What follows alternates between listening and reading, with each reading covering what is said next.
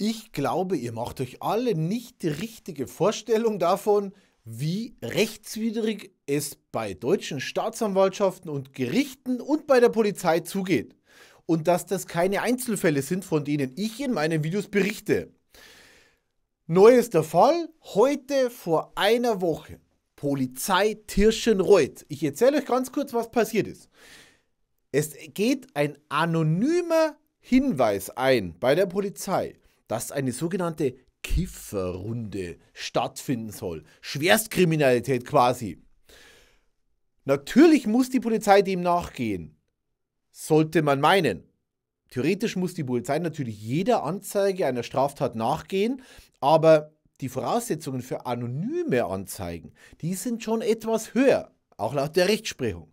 Auf jeden Fall fährt die Polizei hin und sieht mal nach dem Rechten, fährt hin und klingelt. Niemand öffnet.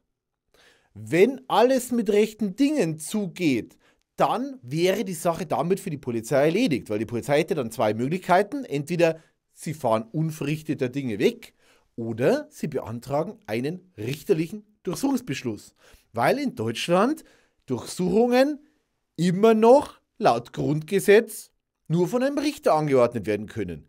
Nur in Ausnahmefällen bei schweren Straftaten und bei Gefahr im Verzug darf die Polizei oder die Staatsanwaltschaft eine Durchsuchung anordnen. Was passiert in unserem Fall? Die Polizei ruft die Staatsanwaltschaft an. Nicht den Ermittlungsrichter, die Staatsanwaltschaft. Um 18.45 Uhr. Und die Staatsanwaltschaft ordnet wegen Gefahr im Verzug eine Durchsuchung an. Weil ein anonymer Hinweis eingeht, dass da eine Kifferrunde stattfinden soll und niemand die Tür öffnen. Das reicht in Deutschland für eine Durchsuchung, die nicht von einem Richter angeordnet wurde. Faktisch.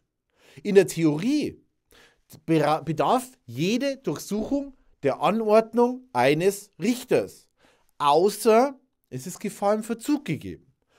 Und es muss die Verhältnismäßigkeit gewahrt sein. Das heißt, die Durchsuchung der Wohnung ist ein schwerer Eingriff in das Grundrecht auf Unverletzlichkeit der Wohnung. Und dieser schwere Eingriff, dem muss auch eine schwere Straftat, ein schwerer Tatverdacht gegenüberstehen. Was haben wir hier? Eine Kifferrunde. In drei Monaten legal. Und da wird tatsächlich durchsucht. Und dann werden dort in der Wohnung auch noch Personen angetroffen. Und dann komme ich ins Spiel, also nicht praktisch, sondern theoretisch wie wäre es denn, wenn die beteiligten Personen einfach meine Tipps beachten würden und die Aussage verweigern?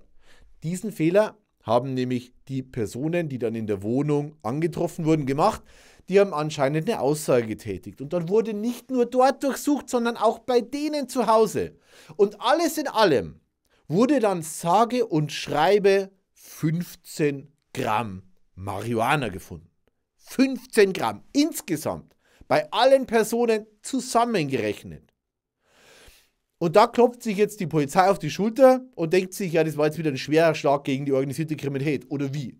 Das ist so, da kommt wieder mein, ja, mein Ekel ins Spiel vor dem Umgang mit Grundrechten und Menschenrechten in der deutschen Justiz, bei der deutschen Polizei und bei deutschen Gerichten, Staatsanwaltschaften.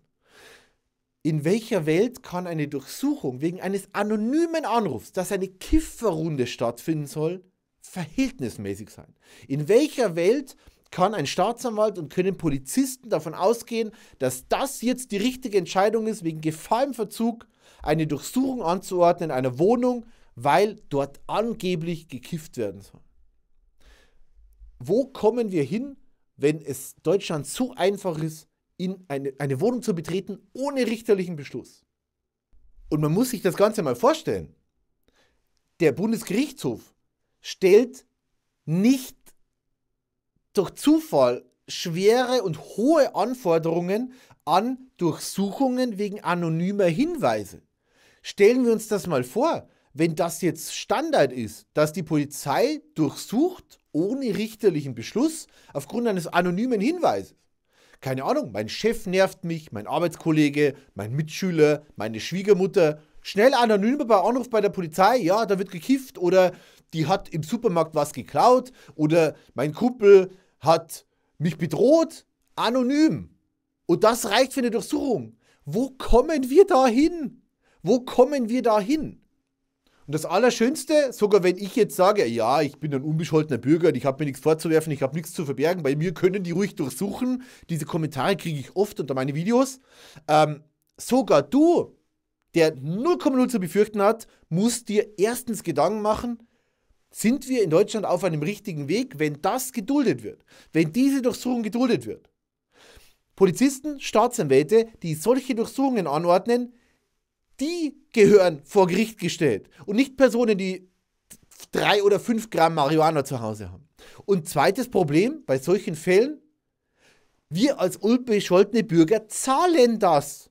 Da sitzt um 18.45 Uhr ein Staatsanwalt, der sehr gut verdient, und mehrere Polizisten, die weiß Gott Besseres zu tun hätten, als irgendwelche Wohnungen zu durchsuchen wegen anonymer Hinweise auf absolut minimalste Straftaten. Und das zahlen wir.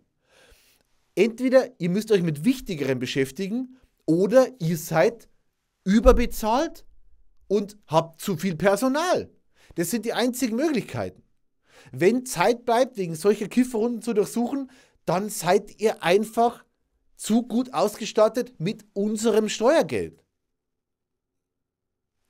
Wir als Bürger können uns das nicht gefallen lassen. Vor allen Dingen bei solchen Verfahren, da werden bei drei Personen insgesamt 15 Gramm sichergestellt. In drei Monaten sind die Verfahren erledigt. Die müssen eingestellt werden. Das war's. Und dafür zahlen wir für diese Einsätze. Abgesehen davon, dass unbescholtene Bürger kriminalisiert werden, vielleicht ruiniert, vielleicht ihren Job, ihren Führerschein verlieren, aufgrund des anonymen Hinweises wegen Lappalien, die in wenigen Monaten legal sind.